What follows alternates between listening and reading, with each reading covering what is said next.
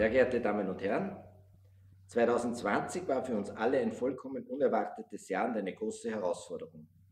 Gewohntes und Geliebtes waren plötzlich nicht mehr möglich. Ich habe das selbst in vielen Bereichen hautnah miterlebt. Was ich aber auch erlebt habe, ist, dass Versorgungsleistungen, die wir für selbstverständlich erachten, zu jedem Zeitpunkt da waren.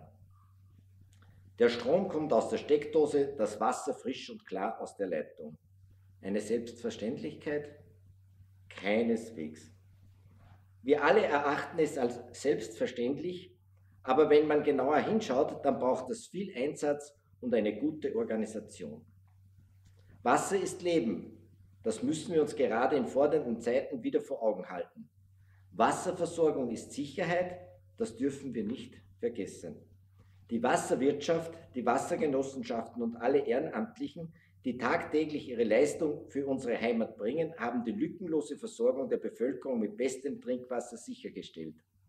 Im Stillen und selbstlos diese Leistung für alle Oberösterreicherinnen und Oberösterreicher.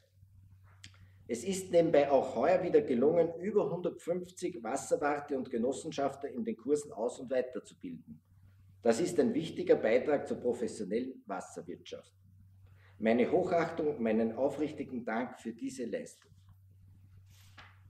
In diesem herzlichen Dank an die Funktionsträger schließe ich auch den Dachverband mit ein. Mit OÖ Wasser sind die Mitglieder, Wassergenossenschaften und Gemeinden gut vertreten und bekommen alle notwendigen Informationen und wichtiges Wissen aktuell und schnell zur Verfügung gestellt. Das schätze und unterstütze ich.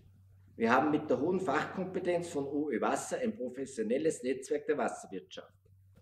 Ich habe die Arbeit des Genossenschaftsverbandes OÖ Wasser immer unterstützt und werde dies auch weiterhin mit allen mir zur Verfügung stehenden Mitteln tun.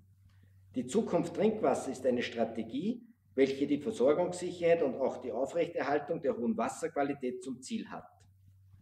Ein Ziel, dem sich die Politik gemeinsam mit dem Dachverband, den Wassergenossenschaften, den Gemeinden und allen ehrenamtlichen Helferinnen und Helfern verschrieben hat und eine Verantwortung nachfolgender Generationen gegenüber.